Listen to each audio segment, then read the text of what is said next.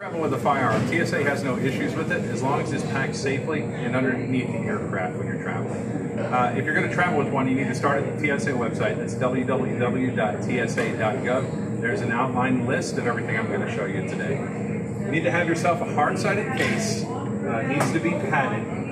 Uh, so make sure that the firearm isn't rolling around on the inside of the box. You're going to take your firearm, make sure that it is unloaded, magazine's removed, and there are no rounds chambered inside of the, of the firearm. Once it's completely unloaded, you can place it inside the box. If you are carrying ammunition, you can leave it in the magazine that you uh, had it in. It just needs to be in a steady state, as I mentioned. Or you can buy an aftermarket box like this one, just as long as the firearm uh, is completely unloaded and the ammunition is stored steady.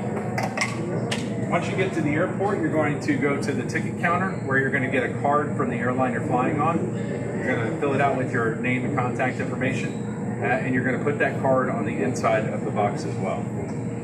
Once you've declared it to the airline, you're ready to close your box and lock it. You're going to close it, make sure it's clasped tightly. And you're going to put your key lock or combo lock on the outside.